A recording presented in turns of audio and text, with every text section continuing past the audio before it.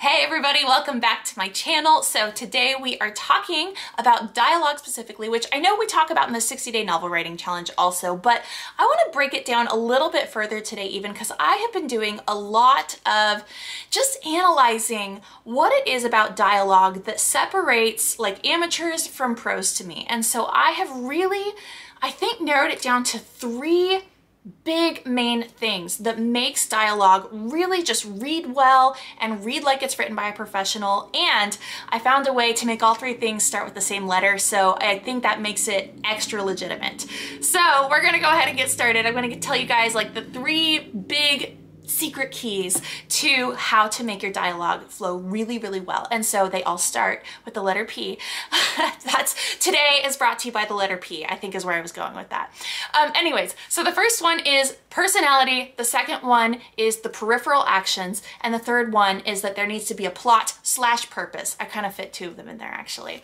So to start with, anytime that we're writing dialogue, one of the most important things that we can add in there is the personality of the characters. And I would actually say that if it is lacking that, then the dialogue in general is just lacking. We need to be able to see in the way that people say things and what they're saying, we should be able to see who they are because that adds such a big dynamic to any scene that we're writing that has big parts of dialogue. So, you know, if we have a couple of characters in a group setting having a conversation, we should be able to see that one of them is kind of the moody, broody type because he's not saying much at all. You know, the characters have to like pry information out of him. He doesn't volunteer anything. Whereas we could have somebody who's a mega extrovert and we see that through the excitement that's in their tone as they speak and just the fact that they're super eager to like contribute and be the center of attention. Or we could get the, the sense that somebody is like a really helpful character and really cares about their friends because they're being supportive in everything that they say. Even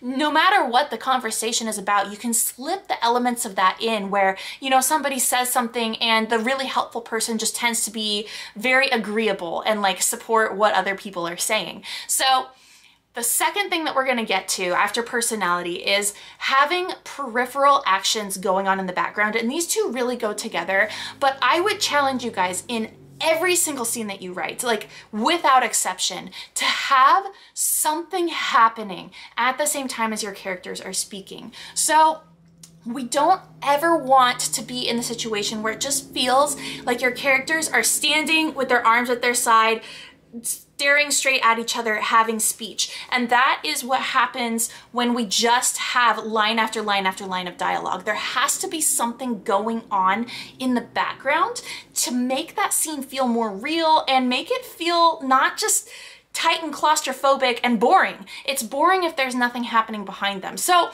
to clarify what I mean by this is like, I don't mean there need to be like explosions in the background, but like if you're watching TV, I challenge you guys to watch any show, pick up any show, and I think you will see this, is that the characters always have something to do while they're talking. So like, I've been watching a lot of Big Bang Theory lately, and they are always doing something while they're speaking their lines. So they're either walking up the stairs to their apartment, or they're sitting down and unboxing their food, or they're starting to eat together, or they're at the comic book store flipping through comic books, or, you know, they're in the kitchen cooking dinner. No matter what is like, even if it doesn't matter, if it's just something small in the background, something is happening that makes it so it's they're not just standing stock still, staring at each other, delivering their lines, because that is completely unnatural. It's unnatural on the screen, but it's also I don't think we quite pick up on it because it's written down and, and, the visuals are different than what we see on the screen, right? So I think a lot of times we don't realize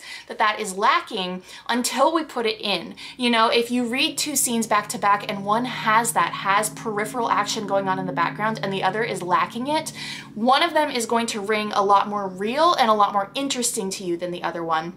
And this actually ties very strongly back into the first one of personality because when they have something going on on the side, in the background, they have something to do with their hands, they have something that they're all focusing on while they speak, it actually gives you a lot more to play with when it comes to the personality. So instead of just having things like the expressions on their faces, because if we, if we don't have peripheral stuff, it's kind of difficult to show personality if they're not moving around and being able to interact with anything.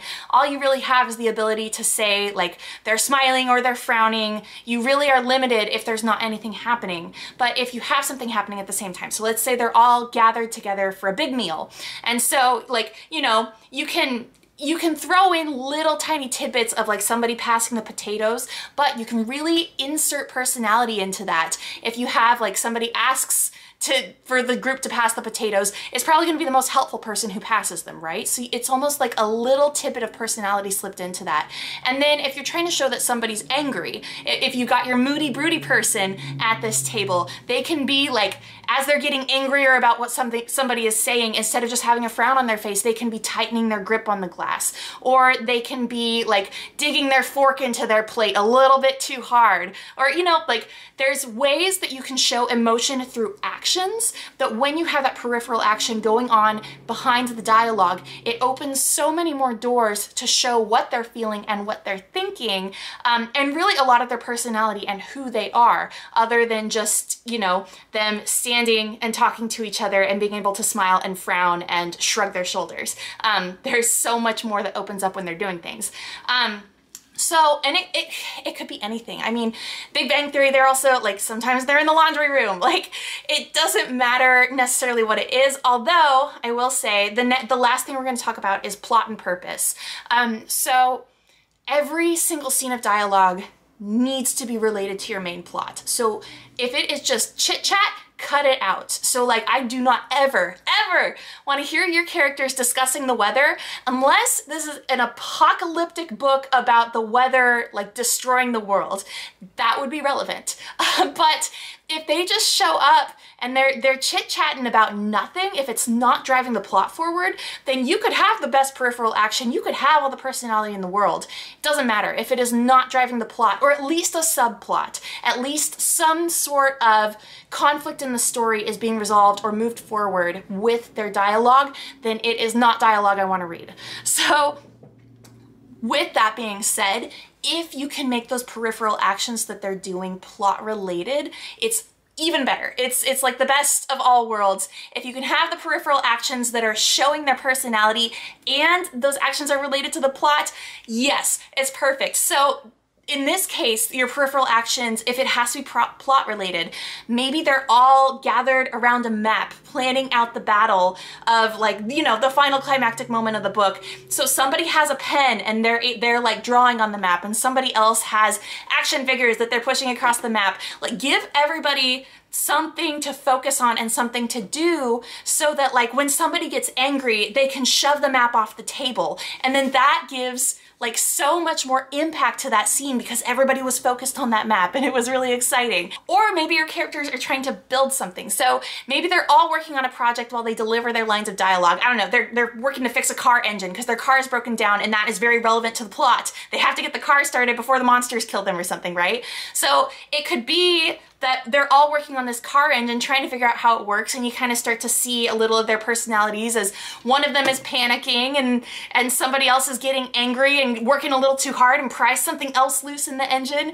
You know, you can combine all of these three things, the personality, the peripherals, and the plot. That is going to be your best dialogue is when you can have all three of those things totally interconnected. So those are really my pro tips that I wanted to give you guys about like structuring your dialogue. If you can go back through your books, if they're already written, or if you're in the process of writing them, anytime that your characters are speaking. Make sure you have those three things and your book is gonna read awesome. If you have peripheral action going on behind them, if you have personality inserted in the little things they say and the ways they say them, and your dialogue is directly moving your plot forward, then you are on the right track. I'm super proud of you guys. And that is everything I got. So I hope you find that helpful. Go ahead and hit that subscribe button if you haven't already, and then I look forward to seeing you guys in the next video.